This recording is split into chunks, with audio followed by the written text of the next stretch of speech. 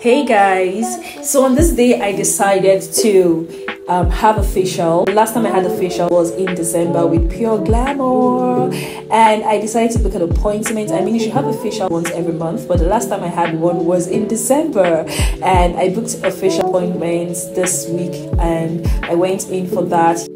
This is me waiting at the waiting area and look at how beautiful and serene their studio is. Now when Soso saw me like I fondly call she was like, oh wow, your face held up real nicely all this while and uh, I went in for my facials got prepped, did everything, and the lady who attended to me was so nice. We're chatty and all. And then we got to the part that I do not like. I wish I could have a facial session without extraction. Oh my god, this thing is painful, and my threshold for pain is 0.00. Like, I can't stand it. I wish I could have a facial session without the extraction, but the extraction is important. You can even see I was crying. if I had a way to hold her hands, I would have done it.